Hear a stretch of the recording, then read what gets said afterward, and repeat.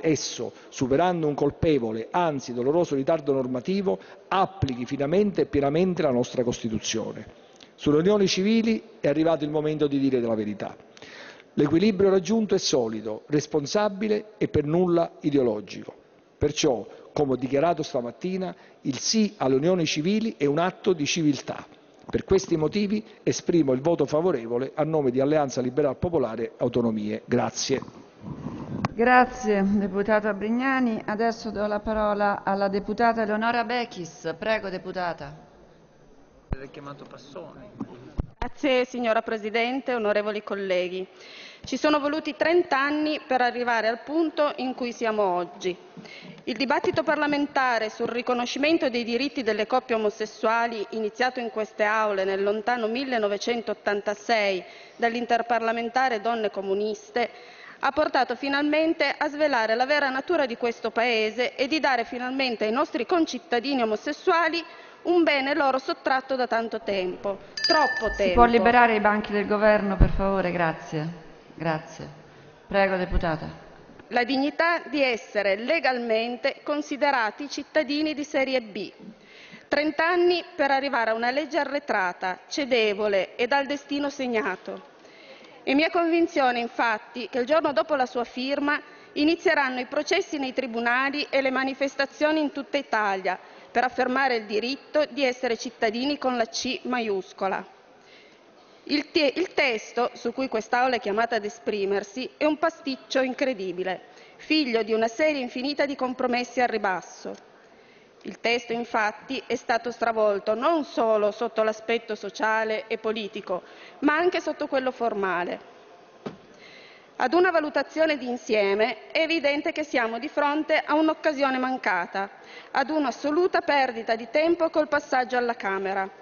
Le audizioni e i pareri di esperti, magistrati, docenti universitari e associazioni sono stati completamente ignorati, sono stati bocciati tutti gli emendamenti presentati che avrebbero potuto migliorare il testo e per chiudere in bellezza viene apposta anche la fiducia, una fiducia al quadrato, prima al Senato e ora alla Camera.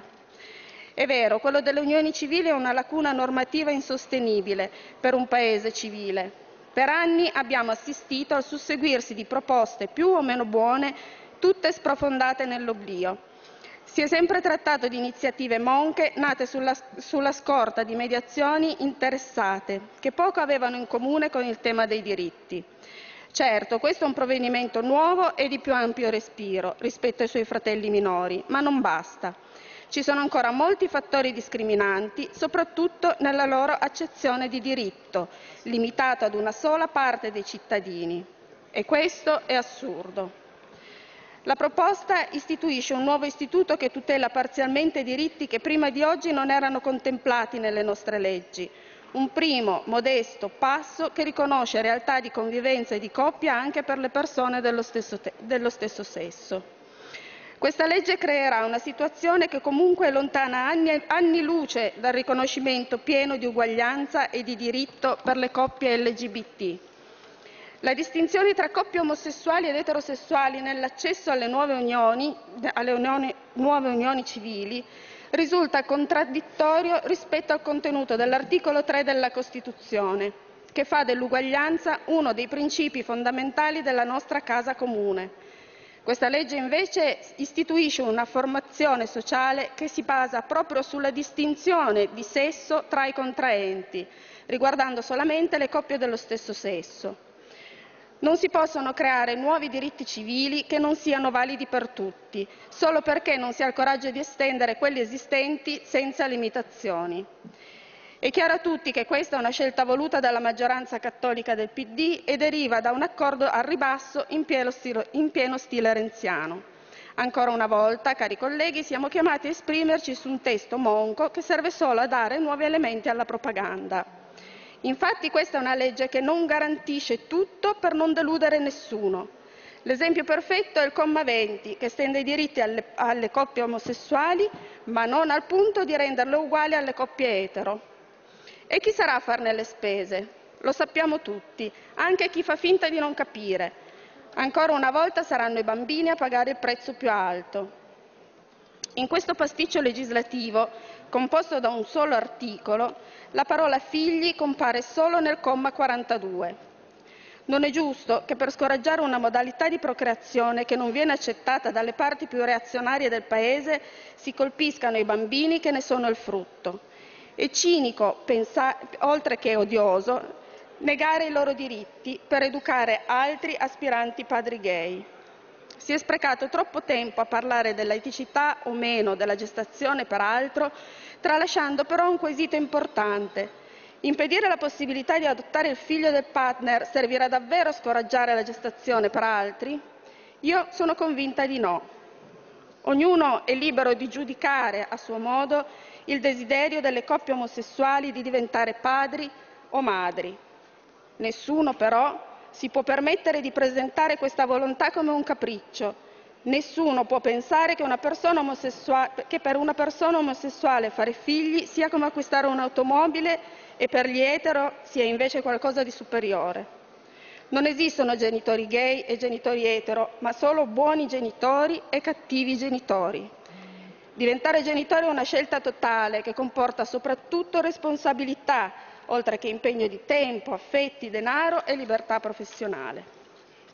Pertanto, vietare l'adozione del figlio del partner non inciderà assolutamente sulla gestazione per altri, perché ciò che non si può né vietare né regolare è il desiderio che la muove, quel desiderio di diventare genitori che non si arresta con un divieto legislativo.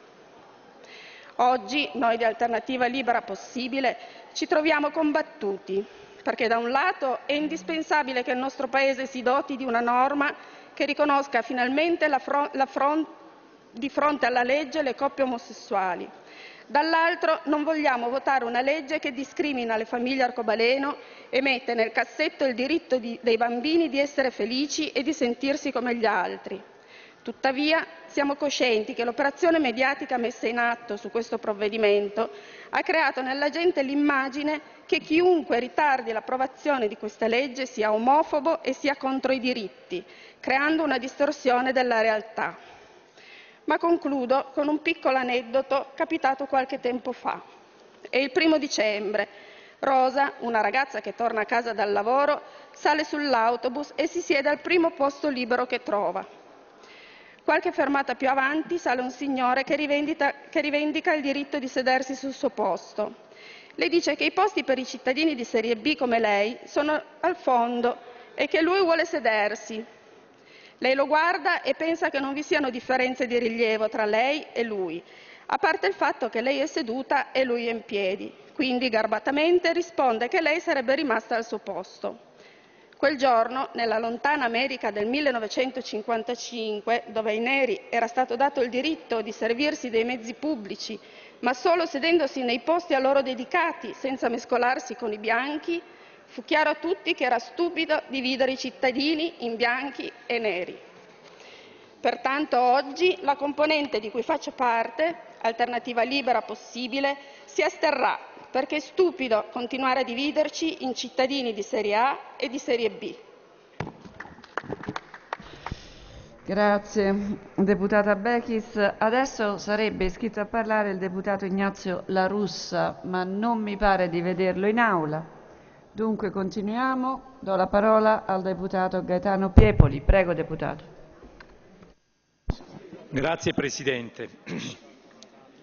Il gruppo parlamentare Centro Democratico Democrazia Solidale ha deliberato di lasciare libertà di voto ai propri eh, deputati in relazione sicuramente alle, alle, diverse sensibilità nel nostro gruppo presenti, ma anche in relazione a una valutazione, oserei dire, un po' tormentata della comparazione del bilanciamento tra punti pieni e punti vuoti di, queste, eh, di questo disegno di legge. È evidente che c'era un dato alle nostre spalle, un'esigenza non derogabile di disciplinare questa formazione sociale. E tuttavia noi non possiamo fingere di non vedere che, sia pure in relazione a un eccesso nell'affermazione dei propri valori, a una sorta di ubris nel percorso parlamentare, L'emergenza ha prodotto anche questa singolare anomalia della fiducia su questo testo di legge. E noi sappiamo,